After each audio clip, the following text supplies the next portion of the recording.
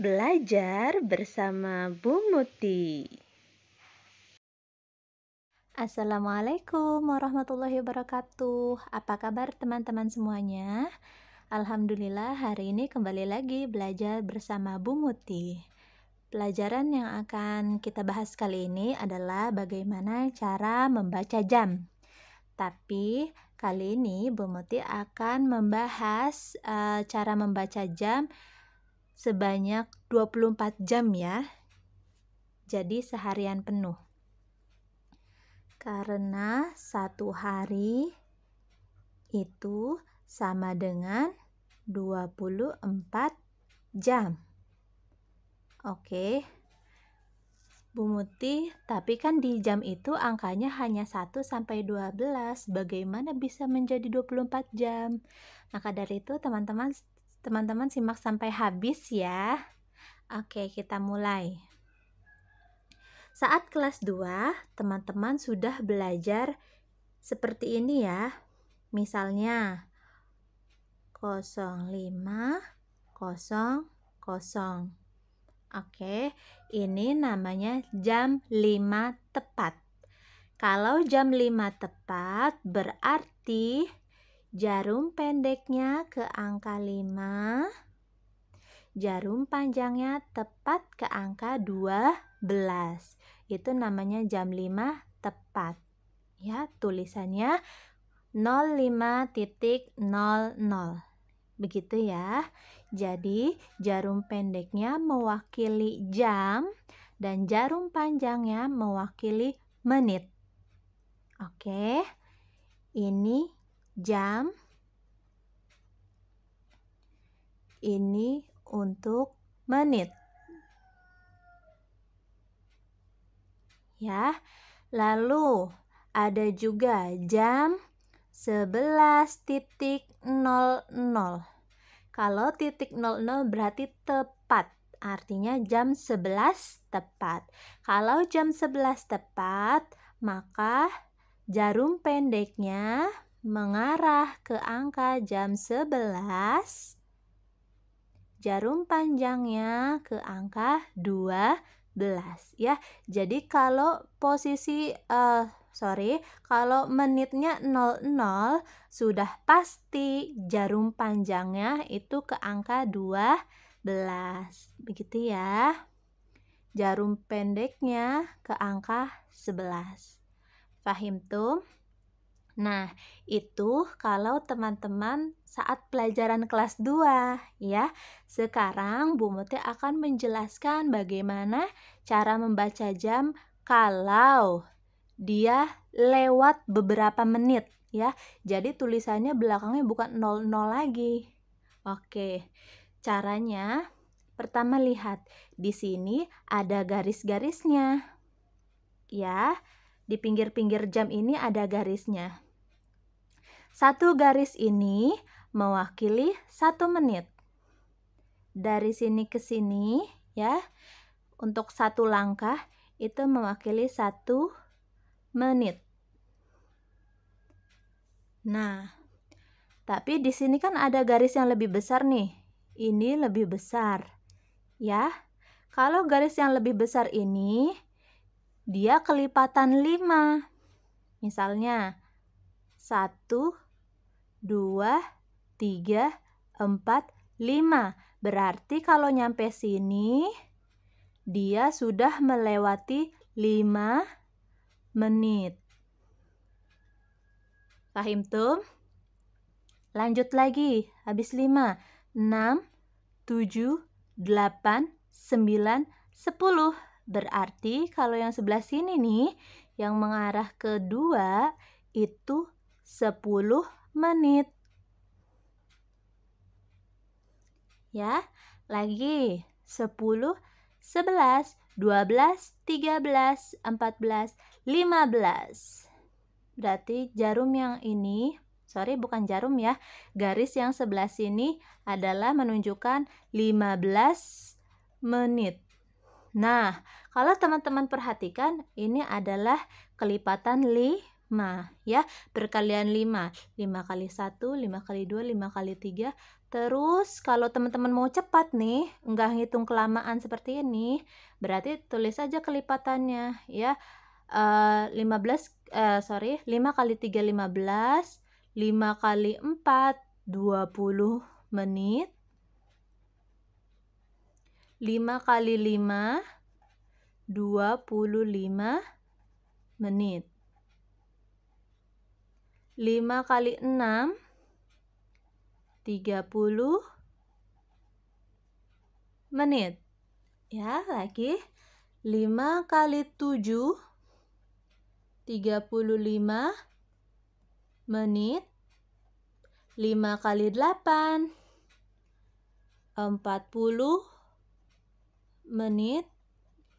5 kali 9 45 menit? 5 kali 10 50 menit. Dan 5 kali 11 55 menit.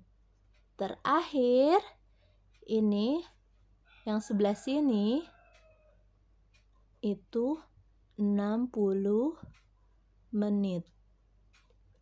Jadi kalau jarum panjang ini berputar dari 12 sampai kembali lagi ke 12 itu artinya dia sudah melampaui 60 menit menit. 60 menit itu sama dengan satu jam ya. Nanti kita akan belajar uh, satuan waktu ya. Jadi satu jam berapa menit, satu jam berapa detik, satu menit berapa detik. Itu nanti akan kita bahas di materi satuan waktu.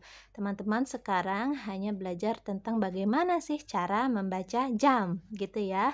Oke. Sekarang kalau misalnya Bu Muti menyimpan jarum pendeknya ke sini, ke angka 3. Lalu jarum panjangnya ke angka 2. Berarti bagaimana cara menulisnya? Bagaimana teman-teman? Maka ini adalah Jam 3 kita tulis. Jam ada di depan ya. Menit ada di belakang. Jam 3 berarti 03 titik. Jarum panjang mewakili menit. Jarum panjangnya mengarah ke menit ke berapa? Karena dia tepat di garis ini, berarti dia menit ke 10. Berarti jam 3 lewat 10 menit. Gitu ya teman-teman. Oke, contoh lagi.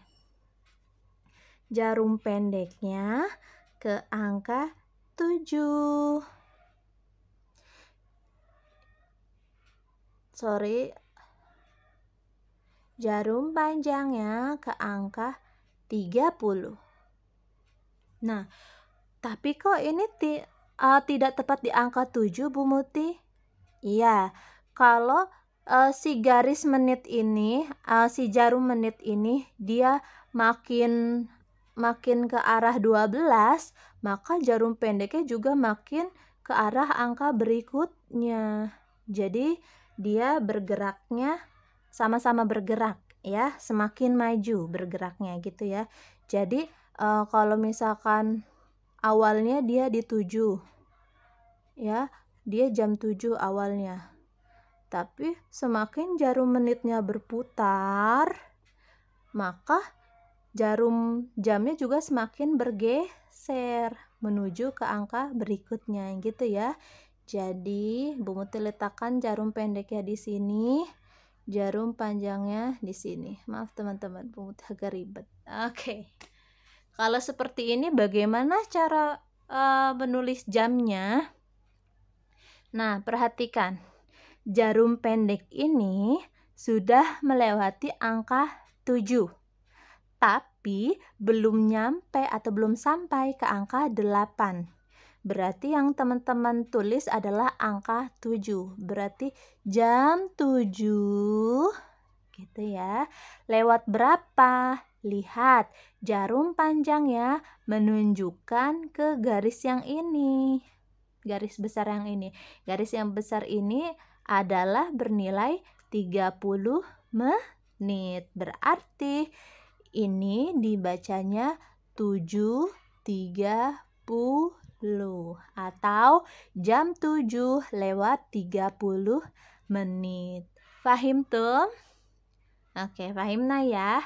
Sekarang Bu Muti pengen kebalikannya nih. Misalnya Bu Muti tulis jam 10 lewat 25. Oke, bagaimana letak jarum jamnya? Betul, jarum pendeknya ke angka 10, tapi agak lewat dikit ya, tidak pas di uh, angka 10-nya ya. Lalu jarum uh, menitnya atau jarum panjangnya ada di menit ke-25. Di mana menit ke-25? Betul, di sini ya menit ke-25-nya ya teman-teman. Berarti kita letakkan jarum panjangnya mengarah ke menit ke 25. Seperti itu. Inilah jam 10 lewat 25 menit. Fahim tuh? Fahim nah ya? Mudah sekali. Oke, satu lagi. Bu Muti kasih contoh. Bagaimana penulisan, uh, sorry, bagaimana cara menunjukkan jarum di jam 6 45 menit. Oke, bagaimana teman-teman? 6 lewat 45 menit. Pertama lihat dulu posisi jamnya. Jamnya jam 6. Nah, lewatnya 45 menit. Berarti sekitar sini ya. Nah, berarti kita simpan jarum pendek ya mengarah ke jam 6 tapi bukan jam bukan tepat di angka 6 ya karena dia lewatnya sudah banyak nih sudah 45 menit berarti dia makin bergeser ke arah 7 oke gitu ya tapi belum nyampe 7 baru ke angka 7 mau ke arah 7 nah jarum panjangnya baru kita letakkan ke menit ke-45. Seperti ini. Nah, gitu ya.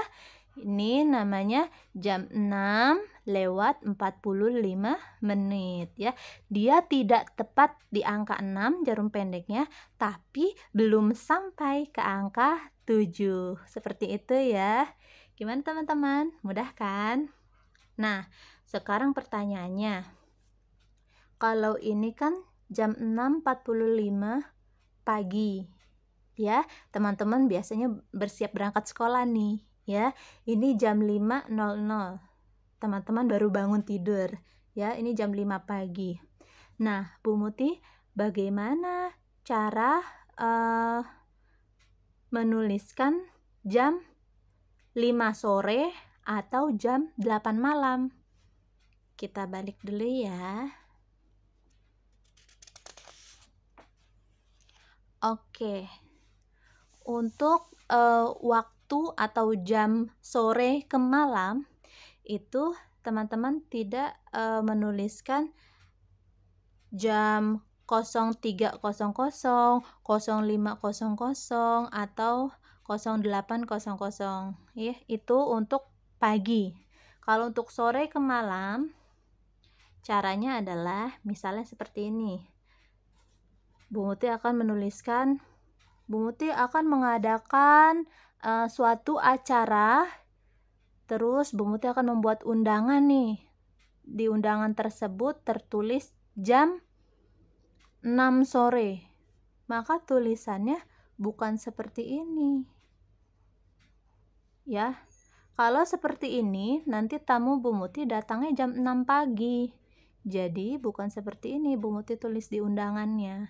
Lalu bagaimana? Apakah seperti ini? Jam 6 sore.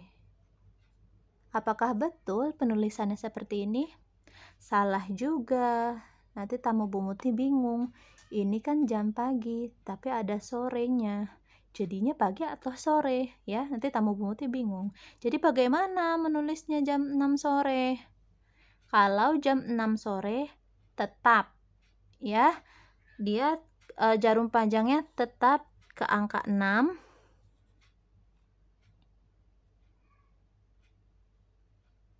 dan jarum panjangnya tetap ke angka 12 jam 6 sore ya. Kalau dari gambar jamnya tetap. Tapi kalau penulisannya bukan seperti ini kalau sore ya. Bagaimana caranya? Yaitu uh, kalau jam 6 sore dia menjadi jam 18.00 loh Kok bisa Bu Muti jadi jam 18? Bagaimana caranya? Nah, kalau jam 6 sore berarti dia sudah melewati jam 12 siang ya. Kalau sudah melewati jam 12, mau ke angka 6 lagi nih. Berarti ditambah jam 12, jam 13 ya. Berarti jam 1 siang itu jam 13.00 ya jadi ditambah satu lagi jam 13 ini jam 14 ya ini jam 15 oke ini jam 16 ini 17 ini 18 ini 19 ini 20 ini 21 22 23 nah baru ini jam 24.00 atau yang biasa kita tulis 00.00 ya mulai dari awal lagi. Oke jadi nggak usah bingung uh, kalau sore gimana sih? Kalau nulis jam 6 sore berarti dia posisinya di sini ya dari 12 kita hitung 12 13 14 15 16 17 18 ya. Jadi kalau teman-teman lihat uh, di undangan ya di undangan ada tulisan 18.00 jam 18 jam berapa ya jam 18 itu jam 6 sore gitu ya. Berarti kalau jam 9 malam bukan 0900 ini untuk jam 9 pagi. Kalau jam 9 malam bagaimana cara menulisnya? Iya betul 21 titik 00 itu jam 9 malam. Seperti itu ya teman-teman ya Oke, sekarang kita mulai lagi ya. Kalau Bu Muti menuliskan, uh, silakan tunjukkan bagaimana jam, bagaimana bentuk jarum jam dari 16 titik 25 misalnya 16 titik 25 berarti ini jam berapa teman-teman kalau 16 berarti dia jam 4 4, jam 4 sore. Jam 4 sore lewat 25 menit ya. Berarti kita letakkan jarum pendeknya ke arah 4. Agak lewat sedikit ya, karena dia lewat 25 menit. Nah, berarti jarum panjangnya ke mana kalau 25 menit? Ayo, ingat-ingat. Lihat, kalau menit berarti hitung garis-garis ininya ya. Nah, kelipatannya adalah 5 menit, 10 menit, 15 menit, 20, 25 menit, 30, 35 menit, 40, 45 menit, 50, 55 menit, 60 menit atau 1 jam ya. Berarti kalau lewat 25 dia posisinya di sini tepat di angka garis ini, garis 25. Nah, ini adalah uh, jam 16.25 atau bisa juga uh, kalau misalkan kita tidak melihat um, tidak melihat lingkungan ya atau tidak melihat keadaan luar ini bisa jadi jam 16.25 bisa jadi 4.25 ya jadi kalau misalkan teman-teman dapat soal seperti ini ya aduh Bu Muti ini pagi atau sore ya nah teman-teman kalau jawab yang sore betul yang pagi juga betul ya. Ini hanya dalam soal. Tapi kalau dalam kehidupan nyata jarum panjangnya e, menuju angka segini, tapi sudah gelap. E, sudah mau menuju maghrib, berarti yang dimaksud adalah jam 16.25. Kalau misalkan jam segininya masih subuh, berarti jam 4.25 menit. Gitu ya teman-teman. Oke, lanjut lagi. Kalau Bu Muti simpan jarum pendeknya ke angka sini. Jarum panjangnya ke angka sini. Nah, kalau seperti ini berarti tulisnya pagi atau sore Bu Muti. Kalau tulis seperti ini, teman-teman boleh nulis versi paginya, boleh nulis versi sore atau malamnya, ya bisa tulis dua-duanya. Berarti kalau paginya bagaimana? Jam 10 ya, karena dia letaknya di 10 lewat 5 menit. 5 itu 05 ya. Atau kalau versi malamnya jam 10 itu jam berapa? Jam 22. 22 titik 5 menit 05 gitu ya teman-teman boleh jawab versi paginya atau malamnya Oke. Okay. Oke, okay, next. Kita ke latihan soalnya. Jam 16.15. Nah, ingat-ingat jam 16. Berarti dia sore ya. 16 itu letaknya di angka berapa?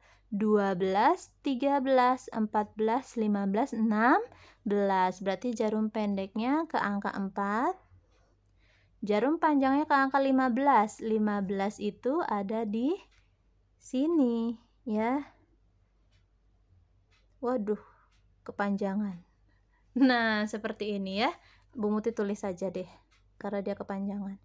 Jam 16 lewat 15. Oke, lanjut. 14.35.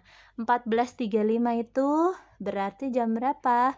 12 13, 14. Berarti dia letaknya di sini. Karena dia lewatnya 35, berarti tidak tepat di angka 2 ya. Dia sudah agak melewati. Oke, 35 menit. Letaknya di mana 35? 5, 10, 15, 20, 25, 30, 35. Berarti letaknya di sini menitnya ya. Nah, jarum panjangnya ke angka 7. Oke, 22 lewat 5 menit. 22 itu jam berapa? Kita hitung. 12, 13, 14, 15, 16, 17, 18, 19, 20, 21, 22. Wah, berarti jarum pendeknya ke angka 10. Jarum panjangnya ke angka bukan ke angka 5, tapi ke angka 5 menit. Kalau 5 menit itu letaknya di sini ya. 5 menit. Seperti itu teman-teman. Oke, terakhir. 8, 15. Nah, ini sih nggak usah ngitung-ngitung kayak tadi ya. Langsung ke angka 8. Jarum pendeknya ke angka 8, jarum panjangnya ke 15 menit. 5, 10, 15. Berarti jarum panjangnya ke angka 3. Gitu. Lanjut, 7 lewat 50. Berarti karena dia lewat 50, lewatnya sudah banyak, dia sudah tidak di angka 7 lagi, tapi mendekati angka 8. Jarum pendeknya mendekati angka 8. Jarum panjangnya ke menit ke 50. Mana sih menit ke 50?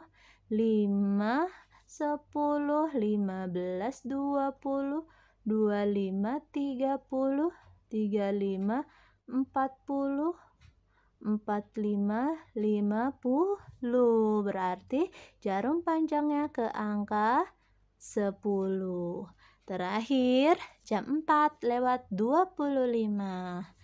Jarum pendeknya ke angka 4, jarum panjangnya menit ke 25 di mana? 5, 10, 15, 20, 25. Berarti jarum panjangnya ke angka 5. Seperti itu ya teman-teman. Bagaimana? Mudah ya? Mudah dong insya Allah ya. Kalau misalkan teman-teman masih bingung, boleh dilihat lagi ya. Uh, diulang lagi videonya dari awal. Oke, sekian dulu teman-teman video materi dari Bu Muti. Wassalamualaikum warahmatullahi wabarakatuh. Dadah.